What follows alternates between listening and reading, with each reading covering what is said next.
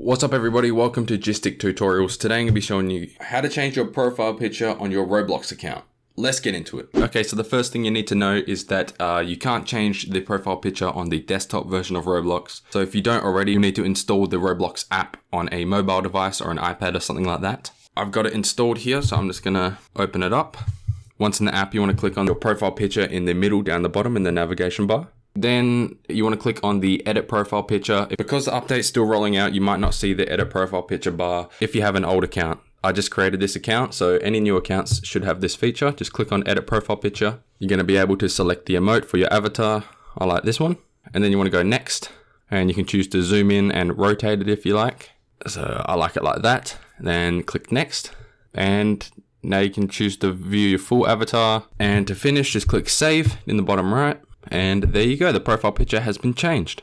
So it's as easy as that. And as you can see, down the bottom here, it has been changed.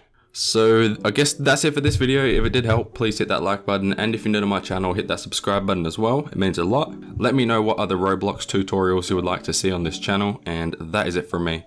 Peace out.